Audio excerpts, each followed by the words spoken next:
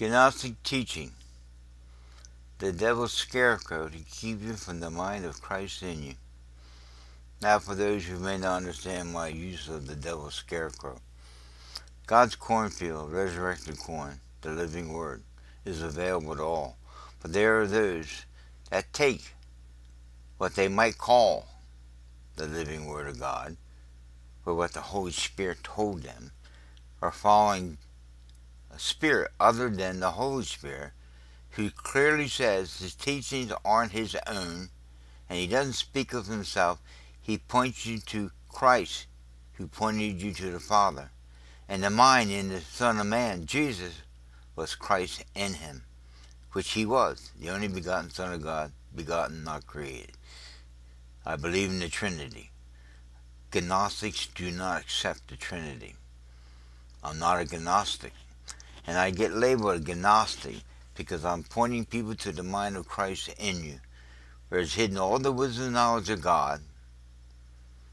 This treasure chest that's hidden in earthen vessels that the excellency would be of God, not of man. It reaches beyond our carnal mind, or what Paul called the flesh, our particular race, our cultures, our secular religious opinion, and opinions of male female. Paul reached beyond that to something he said the eyes has not seen nor the ears heard. And it's revealed. These things are written that you might know. But you has to have the Holy Spirit take that dead letter of the Bible, Old and New Testament, which comes out all my videos, and resurrect it to life. We have a more sure word of prophecy that we should pay attention to until the day dawns, the day star rises in our heart. That's Christ, the mind of Christ in you you get past all your second religious opinions, race, cultures, and creeds, and gender, and you begin to understand. But the Holy Spirit's task was to undo what's been done to all of us.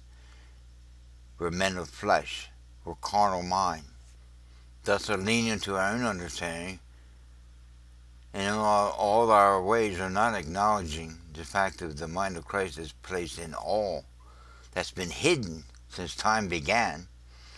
And everything I bring out in my videos is pointing to this fact. How the mind of Christ is all and in all has been there since the dawn of history. Hidden in the Old Testament, manifested in the New Testament, the mystery of Christ is in you. And the mind of Christ is in you.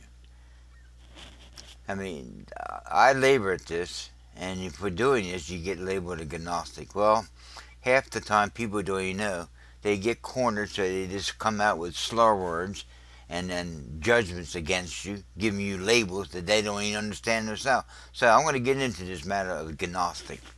You can do it for yourself. You don't need me to do this. Just type in the word Gnostic in a Google search, and you'll get all that you need to know what the Gnostics believe. We get into what they call the apocryphal books. This, there's, I couldn't even pronounce the word. The apocryphal books is an apocryphal story is probably not true, although it is often told and believed by some people to have happened. No? An apocryphal story, it's a good story, but I dare say it's an apocryphal. People say that. I say things that seem to be beyond that which is written, but it's not beyond that which is written. A lot that I say comes out in written scriptures. A lot that I share reaches beyond the dead letter. In uh, 1 Corinthians, I'll pop the text off and you can go look it up for yourself. The spirit-given word. It says, Eyes not seen, nor has ear heard, nor has entered into the heart of man do things which God's prepared for them that love him. But it goes on and says, But God has revealed it by taking this letter of the word, handed down to us, Old and New Testament, taking spirit-given truths and revealing with spirit-given words. That comes out of the book of Hebrews. I'll pop the text up on screen again for you. You go search it for yourself. We have a more sure word of prophecy. Peter's thought comes out in the same text in the Hebrews, where it says to the fact that the, the word of God is quick, alive. It's the living word. Sharper than a two-edged sword Many times people refer to the Bible as the sword of the Lord. Yeah, I know, it's the law, rules. It's a two edges to it that if you swing that letter, independent from God, don't know what you're doing, you're mishandling the letter, as Paul says in 1 Timothy. Here's the text, I'll pop up on the screen. They mishandle it, don't understand its intent. If you swing that sword to cut someone else and judge someone else, oh man, judge another, you just condemn yourself. It'll swing back and cut you. The letter, the law, was given to bring you to the end of human efforts to save yourself and bring you back to God's promise established before the foundations of the world. And I go great labor to, labor to express this fact that our salvation was based in the finished work of Christ before the foundation of the world. And you can go off search scriptures for this, and you'll see that it's biblically sound. People say, "Well, I don't see it in your in your comments." I can't possibly line my ducks up in a row and watch you shoot them all down with your narrow, shallow view of that text. I had those same views at one time, and with the power of the Holy Spirit, not following his teaching, but his leading to the teachings of my Father. Remember, he's teaching on his own. He's not speaking of himself, nor am I speaking of myself and my teachings. I had my time of my teaching. Like I said, I got cassette tapes and writings of the past that I was just beginning to understand some of these things and learning to let a lot of it go.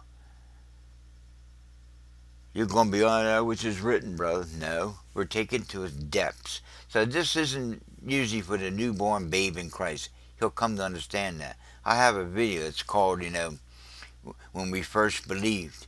There's a lot of things I didn't understand. I didn't understand this matter of the Trinity, for one. There are people today that still don't believe in the Trinity. Jehovah's Witnesses, the Mormons, Islam, none of them believe being three distinct personalities, the Father, Son, Spirit, yet one in essence, God. In Christ. God. You know, I, am not going to do that here. There's other videos that bring that out. A lot of good brothers in Christ can expound upon this thing. Through Christ in them, who's just who the Father is, the Son is, and the Spirit is. Three distinct personalities in one being, God. Well, moving on. I did this research for this word gnostic.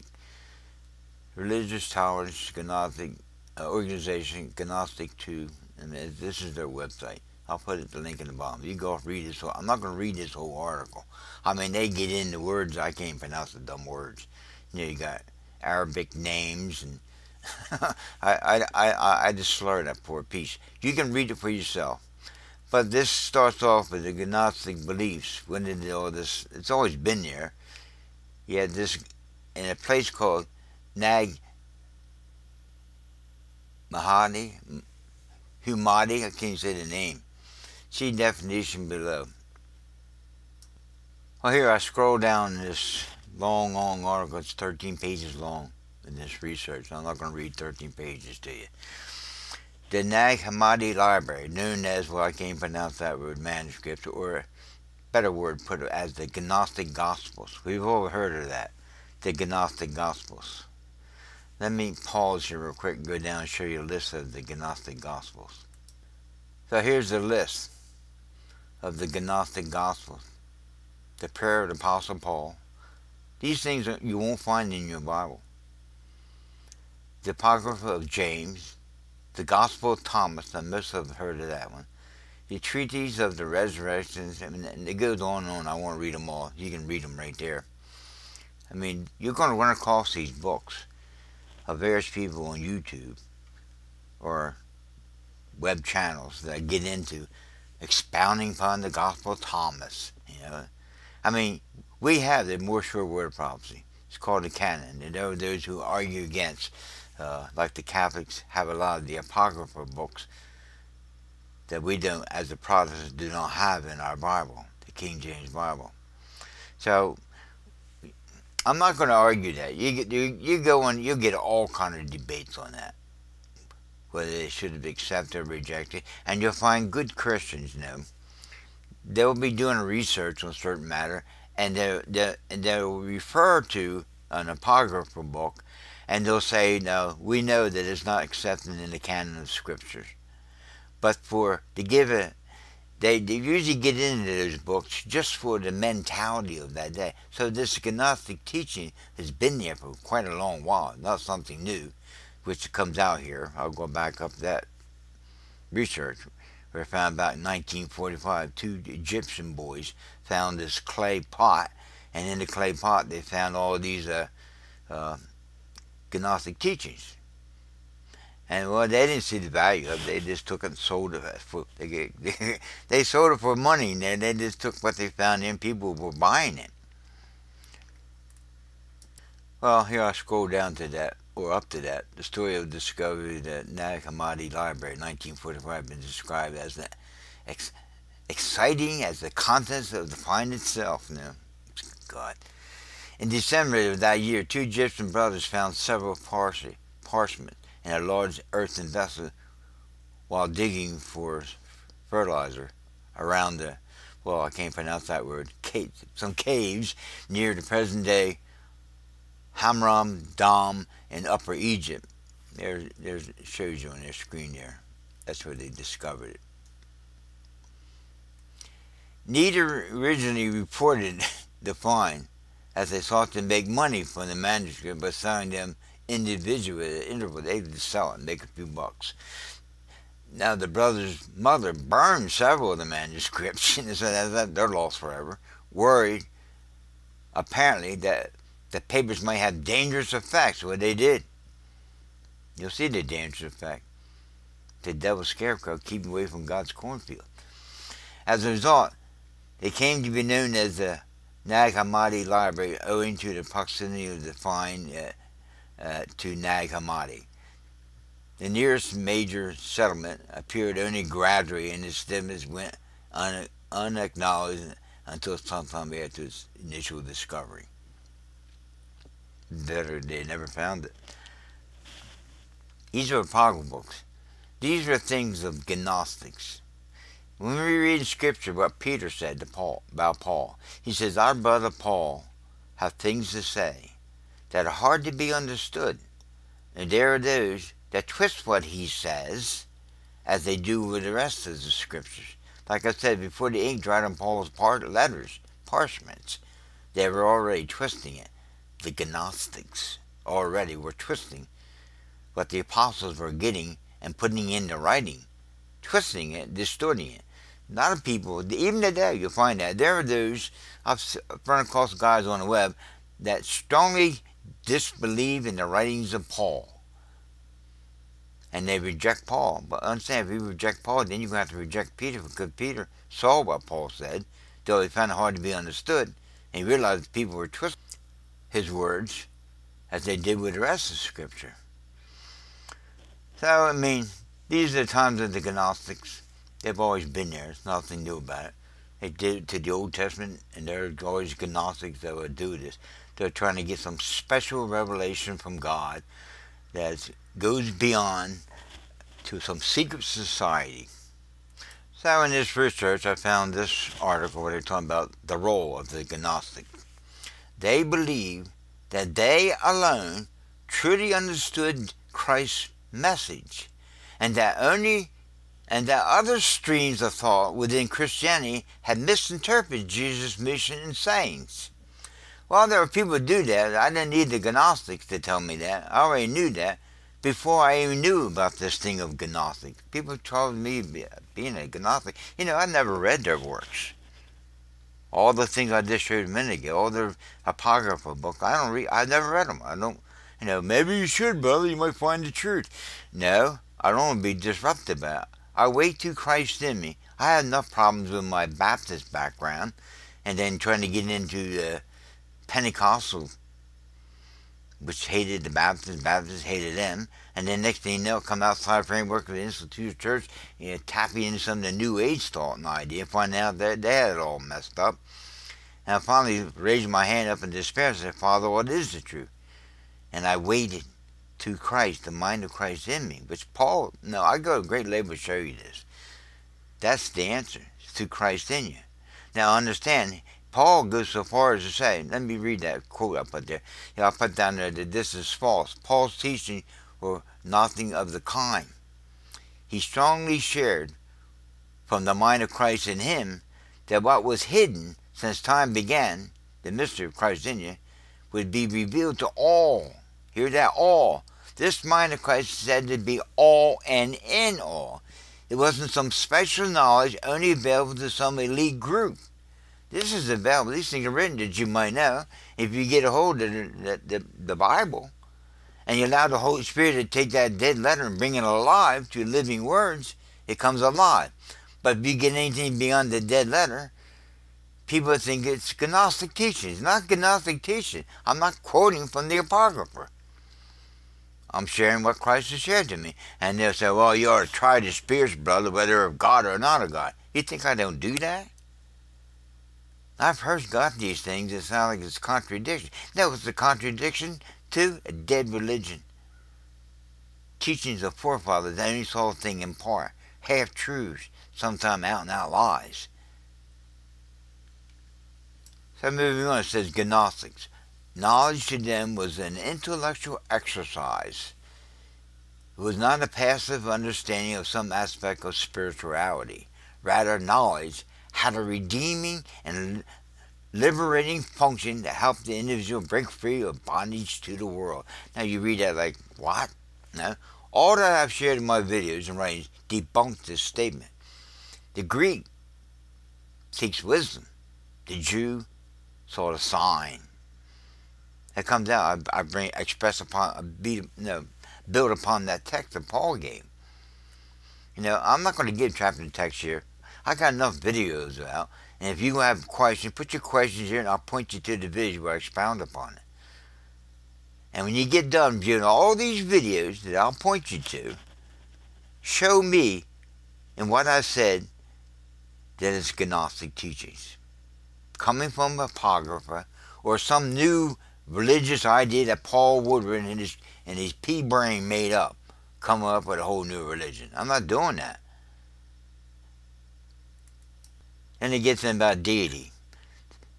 Now, Gnostic teaching about deity, if you want to get confused, go read their definition and idea of God. You know, you know, you hear it when you hear their idea of God. It sounds more like the Jehovah's Witness. It sounds like the Mormons. It sounds like Islam, and it sounds like those of the New Age. Where do you think they get these stuff? From devils and demons, doctrines of devil and demons, teaching all of them going independent from Christ, they will even say sometimes, it's the Christ in me. It's not the Christ I know. Okay. The Supreme Father God, or Supreme God of Truth, is remote from human affairs. He came to life, people. And he's unknowable and undetectable by human senses. senses you know? God, the carnal mind will never see this thing. But you have the mind of Christ in you. You have a quickened human spirit. It's not by the soul cut off from God that you're ever going to understand any of these things. So, I mean, this is like a half truth. There's some truth what that's saying, but I don't agree with it. It's a half truth. It's not it's got to be the whole truth, not the truth, so help me God. No, the Supreme Father or Supreme God of truth is remote from human affairs. He is unknowable and undetectable by human senses. He, she, oh God, he, she created uh, of supernatural but finite beings called aeons. Now, I didn't understand what they meant by that. So I look up the word aeons you see the word, see the definition below. In Gnosticism, it's one of a class of power or beings conceived as emanating, emanating from the Supreme Being and performing various functions, the operation of the universe. There's a higher God, then a lower God beyond that God, then a lower God beyond that God, a lower God beyond that. That's their stupid ideas. Well, let me read on. Oh my God. Now, it's already got things off. It's, it's not biblical. One of these was Sophia. You hear that? Sophia called. A virgin who in turn gave birth to a defective, to an end defective, hear that? Inferior creator God, also known as, can't pronounce the word, means public craftsman in Greek. This lower god is sometimes called Yadabaoth or some kind of crazy name there, from Arabic words meaning uh, begetter of the heavens.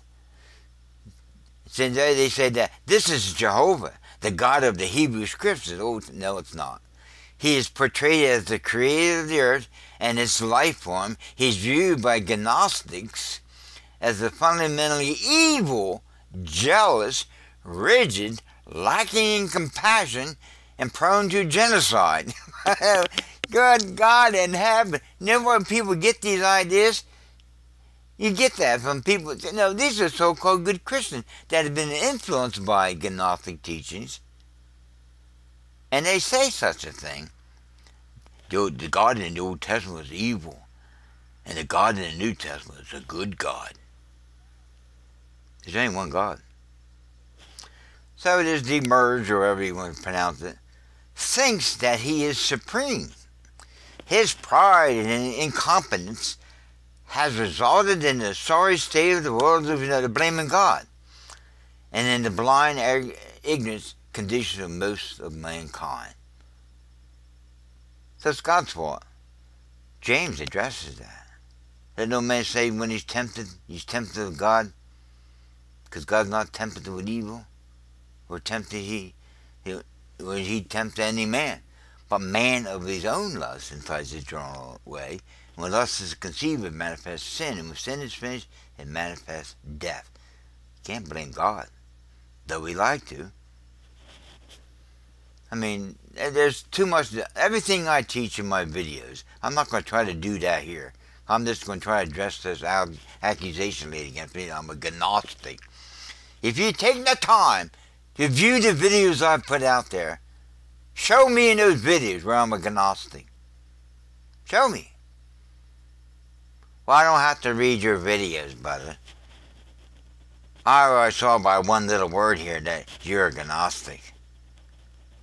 That's called unfairness. Prejudging. Most people that have taken the time to view my videos would laugh at a guy like that. Hey, Woodward, Paul Woodward is far from being a Gnostic people. Oh, God. And then you get to the point where you, you know, they label you, all kind of things. Moving on, you'll find out my videos debunk all these stupid statements here. Duality of spirit and body. Spirit is of divine origin and good. Now catch this. The body is inherently earthy and evil. You know, Epicureans got that way. They used to flag the flag, uh, cat of nine tails, beat their bodies, and they would, you know, severe treatment of the body Paul warned about. They were doing that in his day. The body is inherently earthy and evil.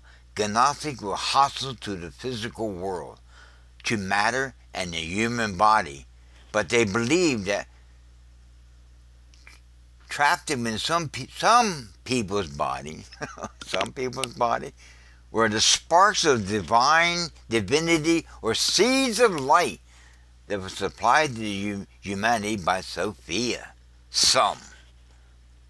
Christ is all and in all, the mind of Christ. His reign is fallen upon the just and the unjust. You'll be without excuse. Well, I didn't get this divine spark. He led every man to come in this world, and they twist that poor verse to hell. He subjected the world to futility and death and decay and dying. But he did that in hope. Christ in you, the hope. Oh, God, make the connection. Don't see it as Gnostic teaching. I almost said it. Get your head out of the hole in the ground. Now catch this. Salvation. A person attains salvation by learning secret knowledge of their spiritual essence, a divine spark of light or spirit. They then have the opportunity to escape from the prison of their bodies of death. Their soul can ascend to be united with the supreme God at the time of their death. Gnostics divine, divided humanity into three groups. The spiritual, who would be saved irrespective of their behavior while on earth. Now you can see all kind of teachings on that. The soulish, who would be saved if they followed the Gnostic path. And the third, the carnal, who are hopelessly lost. I'm not going to here try to point you to the videos I got. I even mentioned one time I said to a guy that had 430 videos, and by the flick of his finger, dismissed it all. That's Gnostic teaching. Never viewed one of them, but a flick of his finger labeled me a Gnostic. God, that's unfair. You'll pay for that. Evil. They did not look upon the world as having been created perfect. Now hear this. Go to the book of Genesis. On six days, after six days, he, he pronounced every day good, good, good. And on the seventh day, he said, it is very good. So before the fall of Adam, had he not fallen, I bring this out in my videos, and had went to the tree of life, not to the tree of death, knowledge of good and evil, that the devil had him go to, and cut him off from God, he would have went to the tree of life and this world would have been a world without end. It would have been an expression, as the prayer of Jesus said, Thy kingdom come, thy will be done on earth as it is in heaven. It would have been an expression of an eternal kingdom on earth, the kingdom of heaven expressed with no beginning and end, would have been a world without end. But because of the fall of Adam, this world had to have a beginning and it ends with a new heaven, new earth, new to us, where what was originally expressed by God to be expressed here in a material world would go on forever. Well, here's what they did. They, they did not look upon the world as being created perfectly and then having degenerated as a result of the sin of Adam and Eve. Rather, the world was seen as being evil at the time of its origin because it had been created by an inferior God. God, God in heaven. What a twist of the Word of God. And they call me a Gnostic. I am not saying that. How dare you? Now here it is, the snake. the story of Adam and Eve in the garden, and the snake. Some Gnostic sects honored the snake. Oh, Is.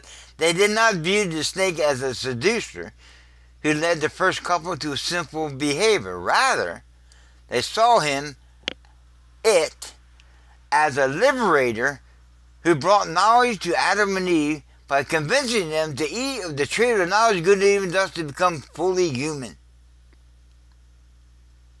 Snake symbol. He gives in some stupid word, I can't pronounce that word.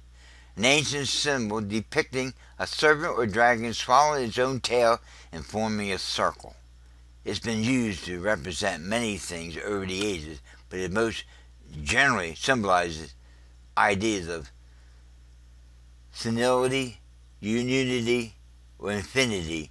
In Gnosticism, the serpent represents or symbolizes eternality and the soul of the world. Oh. Now here's the Gnostic view of Christ. I asked you, view my videos. See if this is how I view Christ. Jesus, our Lord. This is their screwed up ideas. The role of the Redeemer in Gnostic belief is heavily debated at this time. They're never going to come understand it. Gnostics seem to look upon Christ as a revealer or liberator rather than a savior or judge. His purpose was to spread knowledge which would free individuals from the, this lower God's control and allow them to return to their spiritual home with the supreme God at death. Some Gnostic groups promoted, I can't pronounce the Deicism, the belief that Christ was pure spirit and then he had a phantom body. Jehovah's Witnesses do that. Jesus just appeared to be human to his followers. it was really Casper the Ghost, yeah. they reasoned that a true emissary from the Supreme God would not have been overcome by the evil of the world. Remember, they thought the body was evil, so he couldn't ever come into a body. And to have to suffer and die. These beliefs were considered heresy by many non-Gnostic Christians. Some Gnostics believe that Christ's resurrection occurred at or before Jesus' death on the cross. they defined this resurrection as occurring when his spirit was liberated from his body. Many Gnostics believe that Jesus had both male and female disciples. Oh God. Okay, let me in on this. The universe. This is divided into three kingdoms. They got some weird idea of the kingdom. I got a whole video about the kingdom of God versus the kingdom of heaven. To find out, I don't teach that stupid stuff. The earthly cosmos. The earth is the center of the universe and is composed of the world that we know of and an underworld. Is surrounded by air and by seven concentric heavenly spheres, one of which is the, the moon, Venus, Mercury, Sun, Mars, Jupiter, Saturn, although the planet Uranus is visible to the naked eye, it was not re- recognized as a planet in ancient times. You know, astrology. Within uh, this sphere lived demonic uh, entities called uh, Acherons. Beyond them lies paradise, which contains the tree of life, the tree of the knowledge of good and evil, and the flaming turning sword of Genesis 3.24. Beyond paradise was the spirit of the fixed stars, divided into 12 signs of the zodiac. The intermediate kingdom is composed of an inner blue circle of darkness and an outer yellow ring of light. Within these rings is a sphere, which is the realm of Sophia, the kingdom of God consists of two spears, an outer one of the unknowable supreme God, and inner ring of the sun. Okay, that's just some basic ideas of Gnostic teachings. And I'm saying to you, I challenge you, go and view my videos. Show me where I have been expounding Gnostic teachings.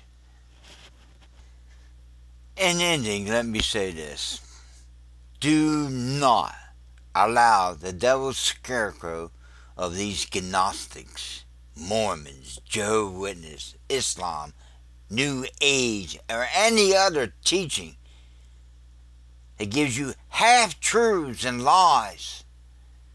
They'll keep you from the very fact that the devil does not want you to discover of the mystery that did him in, Christ in you the hope of restored lost glory of Adam, hidden there since time began, hidden from the devil. If he knew this, he would not have crucified Jesus, which was the manifestation of what was in the mind of God since the dawn of human history before the beginning. Christ was slain, offered his life for our life and retrieve us and bring us back, reconciled, back to the mind of God. Not to these crazy teachings and lies and half truths. So I hope you got something out of this. God bless you.